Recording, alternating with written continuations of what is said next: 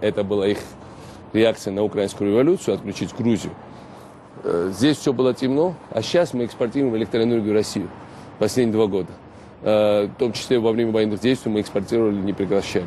Э, У нас самый дешевый газ в регионе. У нас самый, самый, у нас Грузия превращается в энерготерминал для гидроэлектростанций. Сейчас мы А вы бы выжили без западной помощи?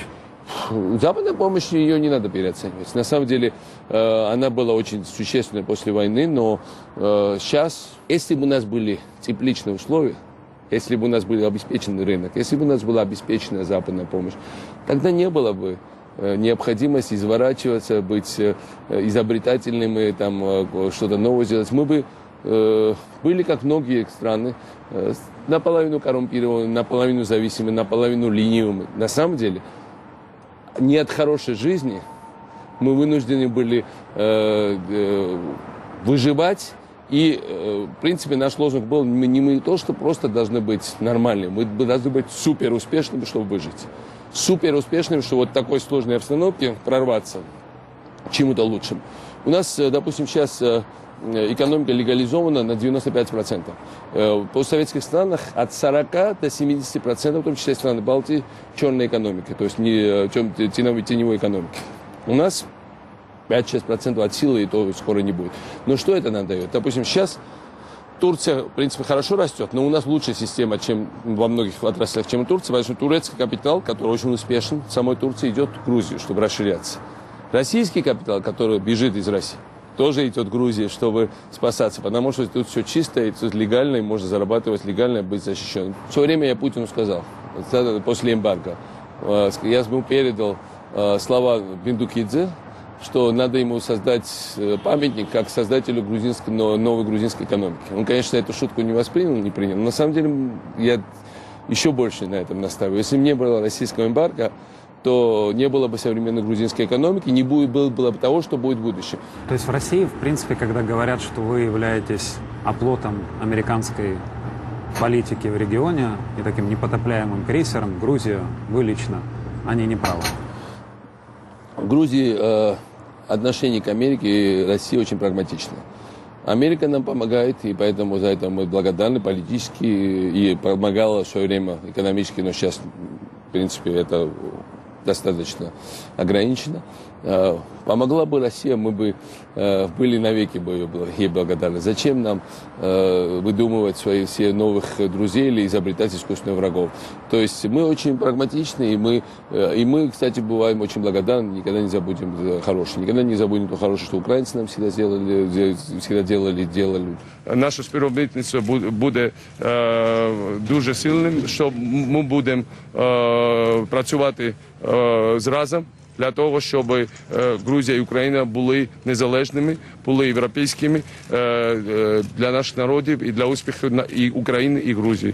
И никогда не, не за- не, э, не забудем то, что многие россияне, э, в принципе, даже сейчас э, сюда приезжают и всячески пытаются нам помогать. Так что из Грузии сделали м, м, как пример мальчика для битья, потому что идеальный размер, маленькая страна, со всеми уязвимыми проблемами. Эти территории, которые Россия с самого начала не захотела отдать после независимости, Южная Осетия, Абхазия. Э, Маленькая армия, потому что в свое время мы остались без всякого вооружения. И географически отдалена, Обученная американцами. географически отдалена от Запада, потому что страны Балтии, в принципе, рядом с Европой. Там сразу прибегут европейцы, будут помогать, э, каким бы они, э, каким осторожными не были. А мы вдалеке, и мы были легкой добычей. Плюс стратегически это очень важно, потому что если бы Грузия пала, то весь энерготранзит из Средней Азии и там, э, э, Каспийского региона перекрылся бы моментально. Э, Плюс прекрасные дачи в Абхазии, пляжи, все это тоже заманчиво. И все это связано с Сочи. Много факторов, почему бы Грузию выбрали. Что бы Грузия не сделала. Но это чисто 19 века расчет, вот прихватывание. И они, Россия, они всегда хорошие хвататели, но они плохие держатели. А есть другой подход, что давайте создадим пример добрососедства, нормальных отношений. Будем этих людей, которые были, в принципе, раньше под нашим официальным союзом Советских Социалистических Республик и раньше Российской империи, наоборот, э, притягивать тем, что у нас привлекательная экономическая модель, социальная модель. У нас культура, которая им понятна. У нас язык, на котором они разговаривают. И у нас общие экономические интересы, от которых они будут только выигрывать. И, конечно, это бы связало гораздо крепче Грузию с узами с Россией, чем со многими другими странами. Но они это не захотят, потому что это все, видимо, или их, они сами не уверены, что их модель притягательна, или они сами не получают удовольствие от того, что кто-то еще э, рад и этому сотрудничеству. То есть э, бывают Не, но вы же все, характеры, я разные- знаю, но вы же все хотите не как они себе представляют. Вы хотите в НАТО, вы хотите в ЕС, вы дружите с американцами. из-за того, что с самого начала нас били со всех направлений. э, То есть у вас не было другого выхода. Э, Это, во-первых. Во-вторых, сейчас многие россияне сами говорят, что мы должны полностью интегрировать даже с НАТО. Недальновидно это была политика. Мы от нее очень пострадали, но все, что не убивает, укрепляет. И сейчас, вот, допустим, сейчас говорят, что вот хотят снять эмбарго на Грузию. Никакого энтузиазма особо и у грузинских производителей не заметится. Потому что они давно уже переориентировались, и давно уже они э, не зависят от одного рынка. Мы потеряли этот рынок. В свое время это было составляло 60% нашего экспортного рынка. Ну, потеряли, перестроились, выжили, научились новые маршруты прокладывать, научились там в, разные там европейские, арабские, э, азиатские страны ездить, в Америку. Вы верите, что при том, что войска рядом русские, при том, что а, Грузия достаточно далеко от интересов ЕС, что ваши лозунги про членство в ЕС и НАТО когда-нибудь в отдаленной перспективе станут Я реальностью? думаю, что это будет, это случится намного быстрее, чем многие себе представляют. Э, У нас есть э, все основы для этого оптимизма. Э, Конечно, и с европейцами сложно работать. Это большая бюрократия.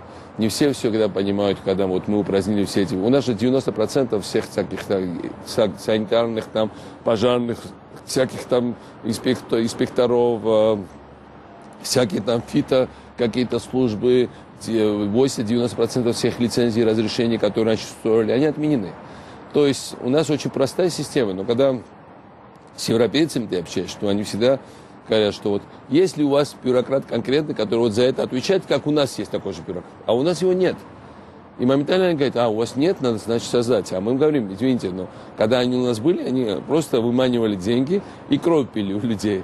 И у нас их нет, и на это, от этого нам не хуже. Поэтому у нас система, которая гораздо более либеральная. Поэтому, конечно, есть эти сложности с европейцами.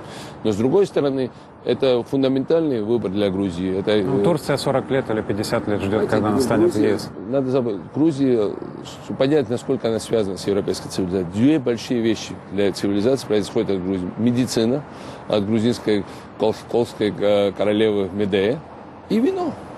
И это две фундаментальные европейские вещи. То есть это как бы истоки европейской цивилизации Грузии. И она как бы, э, конечно, страна молодая и интересная, но она тоже очень древняя. И практически очень много нас от тех европейцев, которые здесь, первых европейцев. Поэтому не только они в музее у нас тут выставлены, первые европейцы, их скелеты, но есть это э, каждодневное проявление. Поэтому Но в Европе вас рекламируют, знаете, как экзотическая страна, немножко цивилизованная. В прошлом году у нас было 2 миллиона туристов, в этом году 3 миллиона будет. А, Мы дойдем до 10 миллионов в течение 4-5 лет максимум. И в том числе большая часть будет европейцами. Греки точно так же вернулись в Европу. Греков тоже забыли. Хотя они создали европейскую цивилизацию. И в 70-х годов, годах Европа вдруг открыла себя в Грецию заново. И очень восхитилась. И, в принципе, больше, чем все мои поездки там, к Ангеле Меркель или там все приезды Саркози сюда или все наши презентации, гораздо больше будет работать их поездки на наши горнолыжные курорты, которых мы строим сейчас целую дюжину.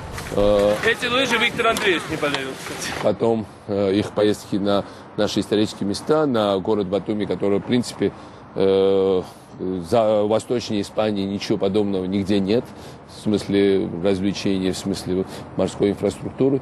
Э, И все это созда- создаст именно э, э, наш, все это нам выпишет новый билет в Европу, э, который, и э, они поймут, что, в принципе, не просто мы их туда возвращаемся. Но они возвращаются в Грузию, потому что, в принципе, от- отсюда они и начинались. И это не громкое заявление. Мы прекрасно понимаем, что это до- до- достаточно сложный путь и тернистый. Но а какая у нас альтернатива? С другой стороны, никто лучше нас в Европе не понимает и Арабский Восток, и Турцию, и Иран. Мы всегда с ними общались. Мы э, для, мы для всех этих стран вокруг нас, мы их европейские э, кузены. А для Европы мы какая-то дальняя страна. Но вот если спросить иранцев, там, турок, там, арабов, там, Кувейте, в Эмиратах, в Саудовской Аравии, они все скажут, что Грузия это их сестра или двоюродная сестра, но она европейская двоюродная сестра. И они этим очень гордятся, что есть исторические связи. Образ советского грузина в советском прошлом был а, щедрый, хитрый, умеет торговать, мандарины.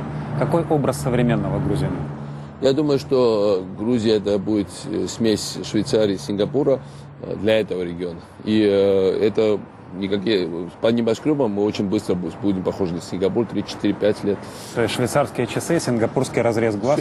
Часы вряд ли мы научимся делать, но вопреки всяким ожиданиям, грузин это не человек, который ходит в кепке с, усами. У нас есть э, очень большая часть голубоглаза и, э, и, э, и блондины, блондинки есть в особых горах. Э, у нас есть разные антропологии, абсолютно разные. То есть надо это смесь всего Грузии. Это будет очень важное э, смещение всех путей торговых, культурных, э, в- экономическо-политических, всяких образовательных. И с другой стороны, одна из наших больших привилегий по сравнению с многими новыми независимыми странами, это сильная народ, национальная идентичность. Причем она многонациональная, в том числе многоэтническая национальность. То есть грузинский армянин, грузинский, вот эта область здесь, допустим, здесь есть э, армяне, азербайджанцы, русские, курды, э, этнические грузины, и многие из них говорят на нескольких языках. И многие, некоторые из них, многие из них даже не знают, какой они точно этничность, спросить. Они вам скажут, что они алабарцы, что они артачальцы, ну, они тбилисцы, но э, и в конце концов они грузины, конечно, но какого этнического происхождения даже уже забыли. И это есть идентичность Грузии. Это э, э, у нас есть грузинские мусульмане, азербайджанские мусульмане, у нас есть грузинские католики, э, естественно, грузинские православные, которые большинство, э, даже русские, грузинские русские, они совершенно разные, э, отличаются от русских русских. Так что это одна общность, в принципе, очень интересно. И сейчас молодежь совершенно другая. Вы яркий, порой даже экстравагантный политик. Позвольте несколько личных вопросов. Пожалуйста. Вы можете прийти на интервью в украинской национальной рубашке, а, но когда-то, я помню, э, все обошли мир кадры, когда вы жевали зачем-то галстук. Почему? Что тогда Я думаю, случилось? что э, э, в бытовой ситуации разные вещи можно делать, но и э, когда камера постоянно включена, то кто-то может что-то... Я удивился, что похуже кадров у них не было, но я думаю, что э, э, это все было э, использовано, конечно, для военной пропаганды. Но в целом э, Грузия, особенно в 2008 году, показывала огромное мужество. Потому что нам говорили, нам вот отсюда до Творца э, идет один путь на восток и на юг, э, и э, на, в аэропорт. Единственный аэропорт, который не бомбили тогда, был Тбилисский международный аэропорт. Единственная дорога, на которых не было вообще военных действий, дорога на Азербайджан. С севера шли войска, э, с левой стороны тоже на, на- на- горы высаживались, или уже по дороге был десант. То есть нам говорили, и нам говорили, что, ребята, дорога открыта, езжайте, езжайте. И по их представлению, наверное, у нас в швейцарском банке, они считают, что у нас какие-то счета там отложены и так далее. И, э, и не только нам говорили, говорили людям Тбилиси, потому что они хотят, чтобы они выжили оттуда. И когда я выступил, обратился из этого дворца по прямому эфире, я сказал народу, что не буду вам врать, э, вероятность российского наступления на Тбилиси очень высока. Мы вам скажем, когда она начнется, но она может начаться в любой момент. И, э, но, пожалуйста, оставайтесь дома и сохраните спокойствие. Мы вам скажем. Я бы сказал, что в 9 из 10 случаях это бы вызвало массовую панику. Э, И, э, и э, люди бы уже сбежали. Потом я после этого выступления выш- вышел на крыльцо этого здания и просто смотрел на эту дорогу. Вот все две дороги были открыты. Будут ли люди? Никого, ни одной машины не было. Никто никуда не двинулся. И это дало нам сильную уверенность, что мы э, выживем. И э, это было главное, что тогда народ проявил удивительное спокойствие. Я, э, я ездил под бомбежками, когда бом- бомбы падали всю дорогу с запада на восток. И прямо на наших глазах это на- сразу за нами взорвали маршрутку, там 14, 14 пассажиров было.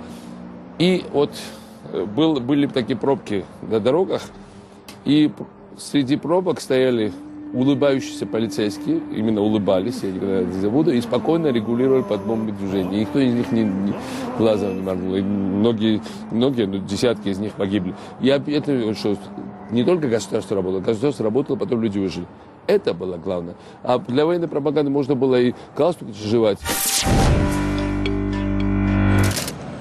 Киев тоже небольшой город, как Тбилиси. И многие знают, что вы любите, когда приезжаете в Киев, э, и рестораны посещать, и клубы посещать. Безусловно, я то же самое здесь делаю. А что я буду в Киеве? И делать? клубы посещать. Я вообще, безусловно. Какие клубы в Киеве посещать? Ой, я уже не вспомню. В прошлый раз какой-то... как- я уже не... э, В прошлом, как каждый... Раньше называлось рядом с со стадионом «Динамо».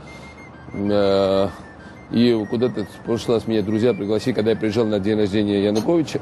И почему-то, оказывается, на второй день это в газетах было, видимо, э, такой интерес ко мне. Здесь мало ли э, кто интересуется, куда я, допустим, вчера ходил, ведь ночью, вчера ночью ходили, тоже клуб рядом с собой.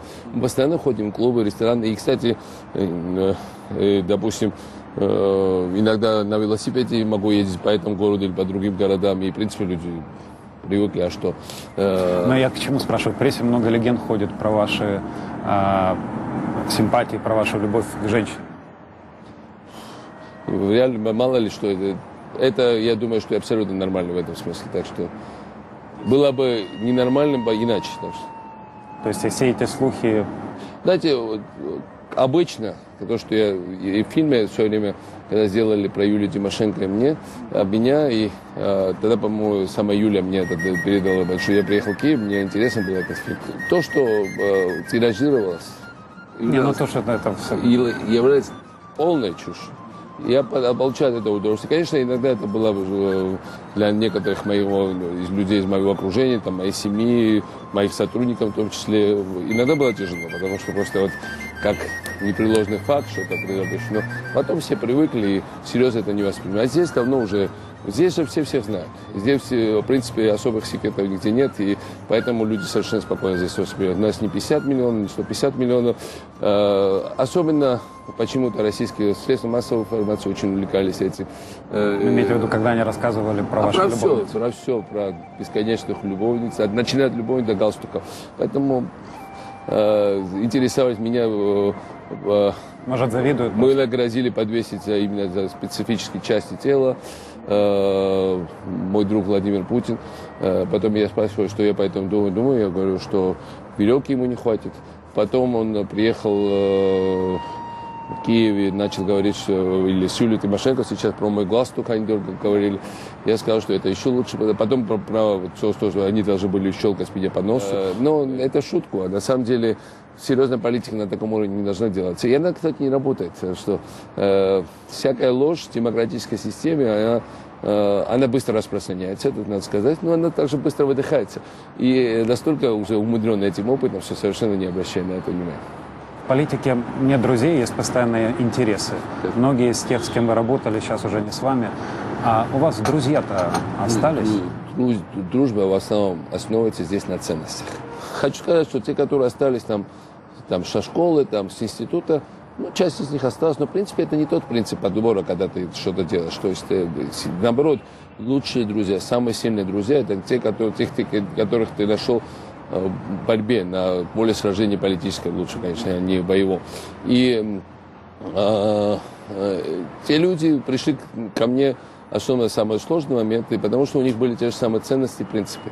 Вот когда дружба основывается на принципах ценностях, я думаю, я совершенно уверен, что мы эту дружбу сохраним. Как только кто-то этим ценностям изменит, то, что мы там э, вместе, вместе пили или там э, э, когда-либо там вместе сидели, это ничего никакого значения не будет иметь. Потому что есть то, ради чего мы живем. Иначе жизнь была бы неинтересна А Ради чего мы живем? живем, чтобы изменить мир к лучшему, конечно. В данном случае, в нашем случае, изменить эту страну к лучшему. И же это ежедневная борьба за улучшение. Не дай бог, чтобы человек был доволен то, что он сегодня имеет э, в своей стране. Каждый день мне кажется, что, во-первых, я много времени попросту потерял. Во-вторых, самое худшее для любой профессии, для моей тоже президентской, это самодовольство и, э, или довольство чем-то хотя бы. Вы Шеварнадзе поддерживаете отношения? Нет, но мы на самом деле его же э, оставили жить в том же самом доме. э, и государственной резиденции. У него очень много денег, или у семьи, потому что их, у них активы никто не забирал. Тогда он был самым богатым человеком в Грузии, или его семья была самой богатой. Сейчас, наверное, есть побогаче. Но они с властью не связаны, что это очень важно.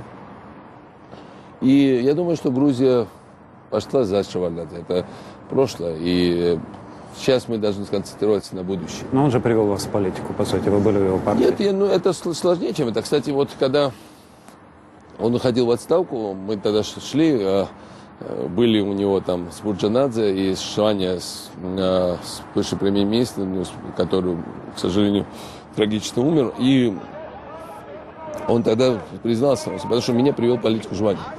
И он тогда на всех троих, троих посмотрел, говорит, что ребята, говорит, э, я вам честно скажу, вот ты, говорит, Нино, выросла у меня на коленях, потому что она была дочь там, партийного работника, они действительно были очень близки к Шеварнадзе, ты, говорит, с детства ты у меня росла. Сураб говорит, я тебя привел политику, я тебя лелеял как своего соратника. Все. Ну, Миш, Миша мне ничего не делал уже, потому что я, в принципе, всегда был против его пребывания в политике. Что честно рассказал, но то, что мы и так знали, потому что Шмане пришлось всегда меня отстаивать. Это уже было то поколение, которое, если в Шеварнадзе активно сопротивлялся, конечно, он смог меня повредить, но, в принципе, э, не его инициатива была меня приводить. Но если кого-то должен был благодарен, должен был благодарен Жуаниш. А вы по материнской линии принадлежите к роду Церетели, правильно? Есть у меня Церетели, да, с, с моей бабушкой Церетели, как самый активный член моей семьи. Это княжеский род. Да, да. У них даже э, королевский род там, а у нее, вот у нее бабушка была королевского рода, уже по градю. А правда, что в бывших советских республиках, особенно на Востоке, вряд ли можно было представить себе человека, который поднялся наверх, если он не принадлежит к какому-то знатному э, роду? в моем детстве так было. Мы... Это в советское время было заложено, что ты у тех, ты, у тех, кто отец, у тех, кто батя, у тех, кто бабушка, прабабушка. Меня воспитывали мой прадед и прабабушка, я ими очень гордился. Они были знатного рода, они были, на, ну, они были на, в академической сфере, но тоже на должностях и так далее. И это все помню, что в детстве я этим очень гордился. Но на самом деле это все поменялось сейчас. Сейчас никто, в принципе, никого не спрашивает, кто у тебя родители. Потому что а, э, если посмотреть на наше правительство, это набор деревенщины, в принципе. Э, при- 80% это люди, там, которые там из разных сел. Никто из них не представляет никакую элиту. Когда мы ввели всеобщий экзамен, 80% э, людей поступило с сел. Самый лучший результат, самый высокий балл был, э, была девушка с, с высокого горного села на уровне там, до 2000 чем-то метров, которая, у которой не было электричества в доме там все детство практически, последние 10 лет. Э, и она вот на свечах читала книги и, вызубрила все. А молодежь вообще сейчас уже такая полностью. Там даже ничего не надо доказывать. Все. Вот мой сын э, постоянно соревнуется с одноклассником в отметках. А знаете, даже при моем советском детстве, я школу закончил на медаль, стыдно было иногда, что ты хорошо учишься. Все было наоборот. То есть э, хорошим тоном было быть э, двоечником, э, э, уличным мальчиком, Хулиган. да, и, э, и главное, кто были у тебя предки. Сейчас все поменялось, сейчас совершенно новое поколение, они соревнуются, они состязаются, они все время доказывают, что они могут быть лучше, что-то новое ищут, и э, так и должно быть. В принципе, все стало на свои места. Но вроде непонятно, почему до, до сих пор было иначе. Ма- Маленькие истины надо доказывать на каждодневной реальности. Дякую вам за бесіду. А, Це було Ткаченко Єй, президент Грузії Михайло Саакашвілі, який намагається з е, людей, які були в селі, селюків, зробити нову еліту Грузії. Правильно? Так. Також дякую вам і до побачення.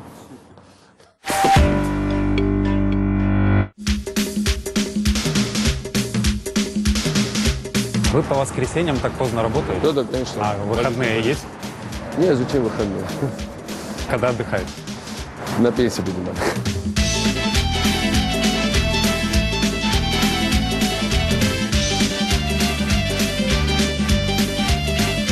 Президентом Грузії не соскучишся. 23.41, а робота продовжується. Нас раптово запросили познімати зустріч, яка в нього зараз відбувається в офісі. Пішли.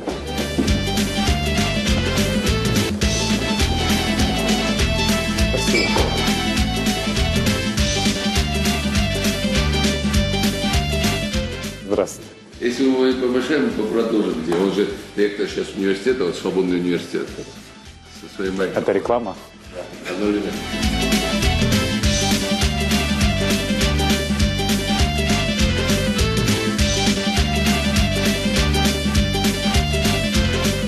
Она как бы выстроена по структуре ДНК, то есть язык, алфавит, который очень уникален, как ДНК нашей многоэтнической нации.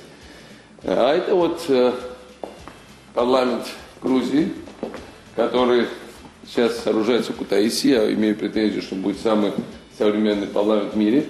И главное, там вокруг вот ров, вода, там как бы пруд, э, красивый сад будет вокруг.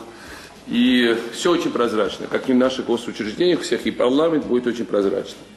И очень много проектов. У меня здесь, э, значит, э, вот эта э, гостиница, которая 40 с лишним этажей, которая сейчас уже строится, каркас будет где-то через год. Парламент, кстати, будет через месяц уже, через, через концу года. Это будет через год. И это тоже в центре Тбилиси будет такая сногсшибательная, э, очень такая люксовая гостиница. Так что есть проект полон всяких, э, кабинет полон всяких проектов. И в том числе на моем рабочем столе вы тоже можете увидеть очень много действующих проектов, которые мы строим, и мы э, этим очень гордимся. И кроме того, вот я хочу показать, э, значит, у меня всегда в кабинете висит эта фотография, это школа в центре Тбилиси, э, без отопления, без света, дети вот этих шапочках с перчатками, на старых детям мы даем по компьютеру, Другие парты, конечно, все отоплено, совершенно другая школа. И все школы в Грузии практически уже, ну, минимум на 80% уже похожи на вот эту новую. Так что так.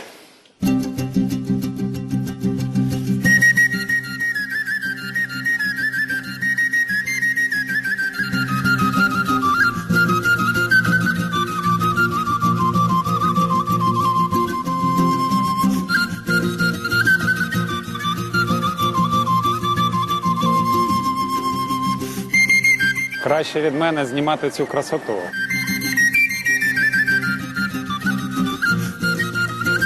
Вийшов, подивився на місто, все спокійно, можна йти працювати. Пішли спати.